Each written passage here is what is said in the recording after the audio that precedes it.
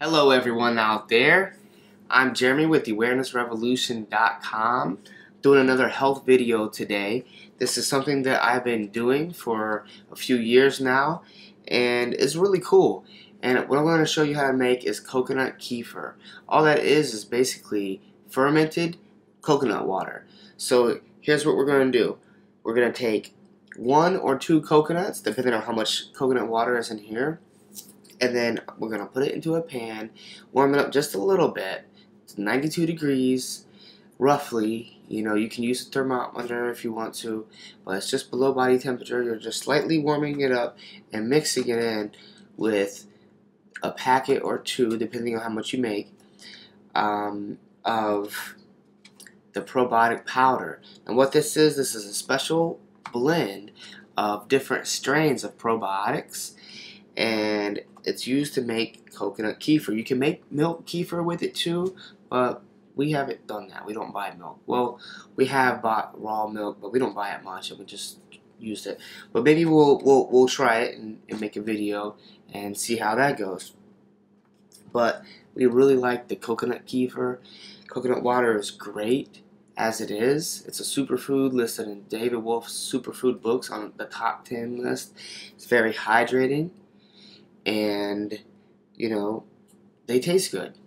So I mean, if you buy them in the stores, they're pasteurized. Not really the same. You really want to get it from a fresh coconut, but you don't want to eat too many of them or drink too many of them because the coconut water is high in sugar, which sugar isn't too bad, but you know you don't want to drink a whole bunch of them.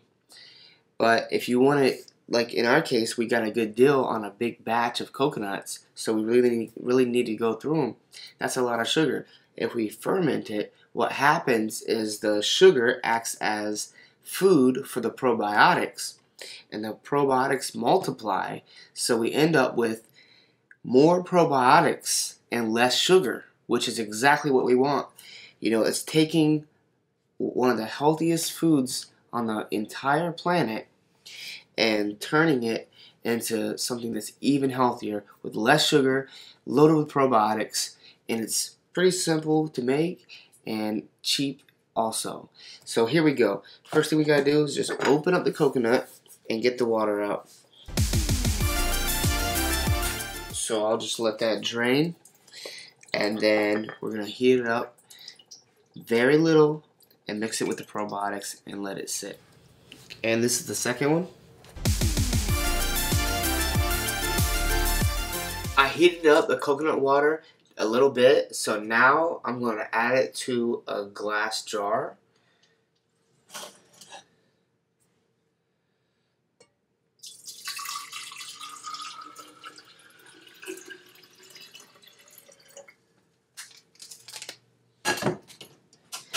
And then I'll add a packet.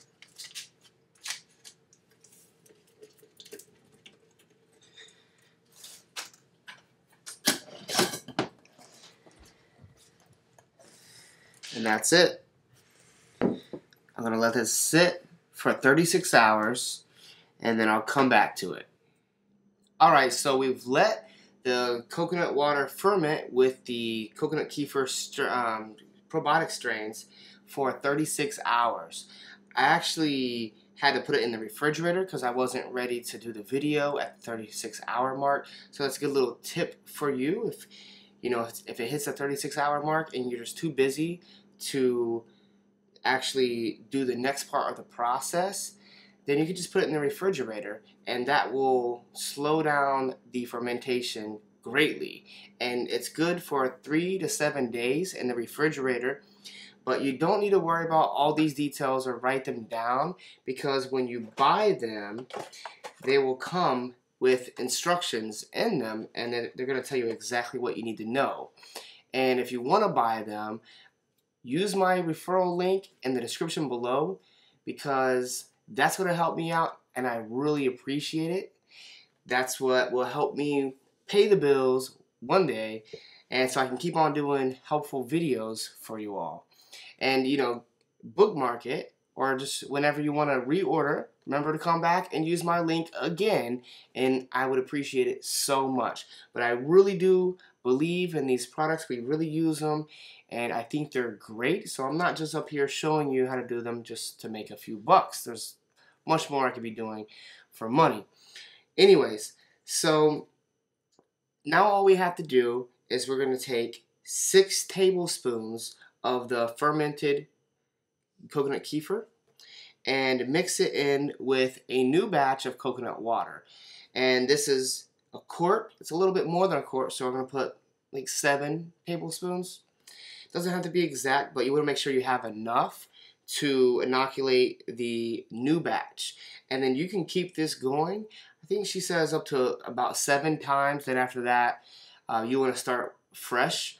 But with one packet that comes in this box, you can do this seven times. So you can make gallons and gallons of kefir. So it's really cheap if you do it like that. The coconuts are what cost the most. And just one more tip before I mix it. If, like for example, your kids don't like it when it's fully fermented, it doesn't have to be all the way fermented. So let's say I'm going to take six tablespoons of this, mix it in with this, and then let this sit out at room temperature, preferably around 70 to 75 degrees, and then let it sit out for 36 hours, and it will be coconut kefir. But if your kids don't like it like that, you can let it sit out for 18 hours, you know, or whatever. And, you know, because the whole time it's going to be fermenting, which will be increasing the amount of probiotics, decreasing the amount of sugar. So find that sweet spot in which they still like it, but it's got some probiotics in there, and maybe you'll be able to get your kids to take it that way. And maybe over time their taste will adjust, and you can let it um, ferment for 20 hours next time, then 21, and the next thing you know, they won't even know the difference when you let it ferment for the whole 36 hours. And if you can get your kids drinking coconut kefir, it's going to be so good for them. And one of the main differences uh, that I like to point out between these type of probiotics and probiotics that you'll get from yogurt that you buy in the store is the yogurt probiotics are what's called transient probiotics. So they'll come and they'll leave. Where these are colonizing.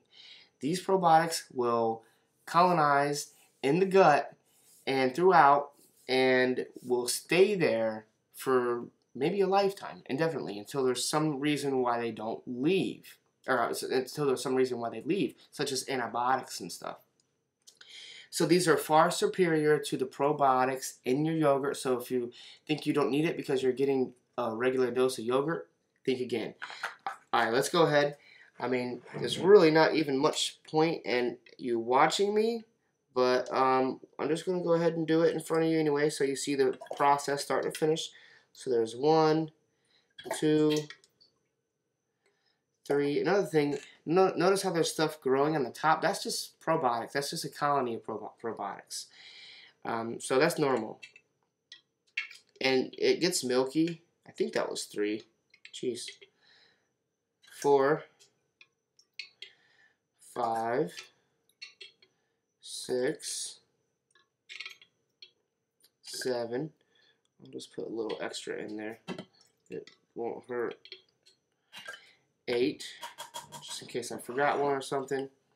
And there you have it. So again, I'm going to put this in the fridge because it's already been fermented. It's ready to drink. It's good for three to seven days. And I'm going to let this one sit out for 36 hours and then I'll repeat that process again. Cheers to your good health, your family's good health, and to probiotics that will help fight candida, that will boost your immune system and produce lots of nutrients for you. Check out that description so you can get the link to where you can buy this. Thank you so much. Cheers to all of our health. Have yourself a wonderful day and make sure to subscribe so you can check out my videos in the future.